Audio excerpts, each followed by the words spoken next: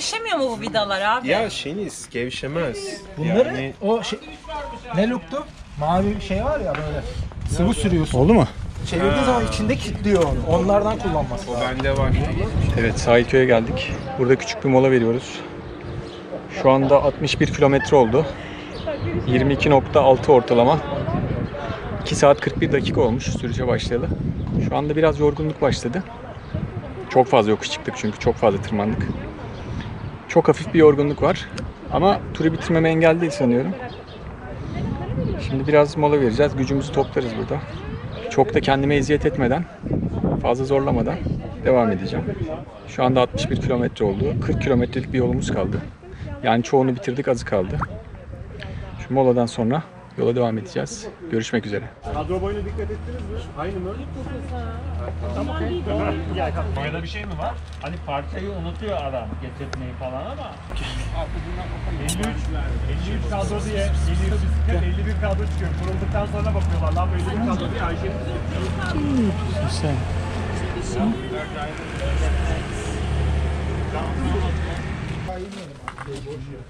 Ayşe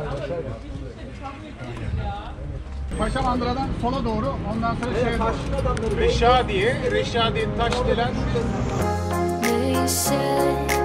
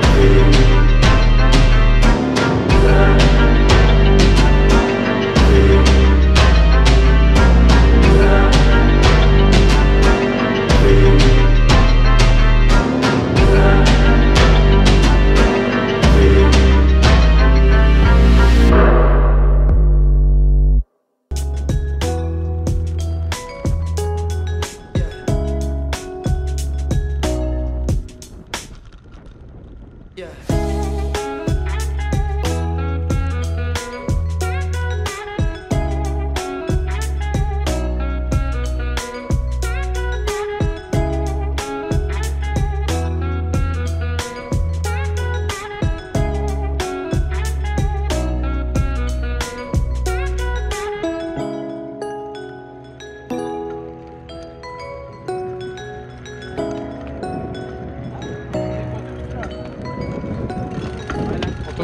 Oradan aşağı geliyor değil mi otobüs?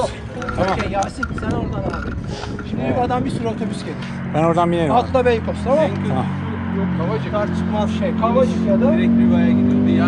5 kilometre falan. Orada beklerim. Ya gerçekten hani böyle tansiyonu falan düştü. Yok hiçbir şeyim yok. Gayet iyi. Bacak Sadece kramp, girmeye başladı bacak. girebilir. Benim de hafif, hafiften girdi. Ha.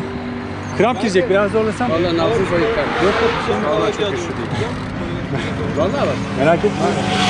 Yasin O zaman görüşürüz abi eyvallah. Tamam tamam. Merak etmeyin. kadar 50 tane otobüs. Tamam abi şuradan bekleyeceğim. Hadi görüşürüz. Hadi görüşürüz ya. Eyvallah. Eyvallah. Ev nerede Yasin? Avcılar. Karşıya geçeceğim daha. Üsküdar'dan. Marmara işine yarıyor. Yarıyor. Neyse kendi evini Beykoz'a at da. Aynen. Hadi görüşürüz.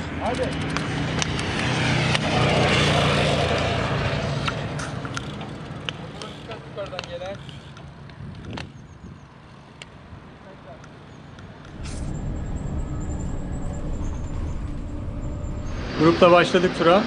Ben 89 kilometre sürdüm. Grupla birlikte. Ondan önce de evden Marmara'ya gitmek için de bir 8 kilometre sürmüştüm. 97 kilometre falan sürdüm herhalde. 96-97 kilometre sürdüm. Artık gücümün tükendiğini hissettim.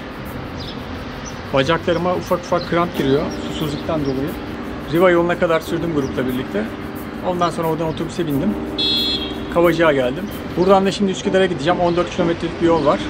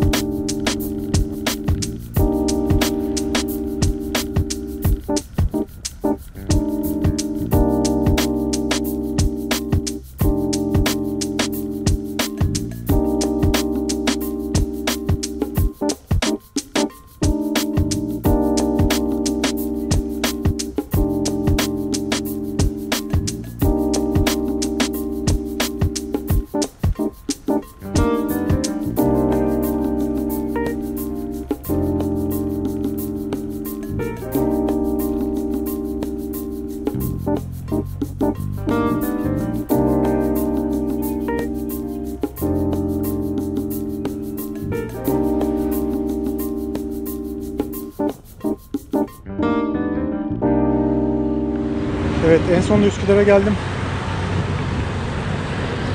Zor da olsa Üsküdar'a ulaştım. Çok zor oldu benim için bugün. Yani kendimi böyle tehlikeye atacak bir duruma düşürmedim. Gücümün tükendiğini anladığım anda zaten bıraktım. Kendimi zorlamadım. Sadece biraz susadım. Onun dışında vücudumda bir herhangi bir sorun yok. Şimdi iftara kadar su içmeden durmak daha zor olacak herhalde. Yeni turlarda görüşmek üzere. Hoşçakalın.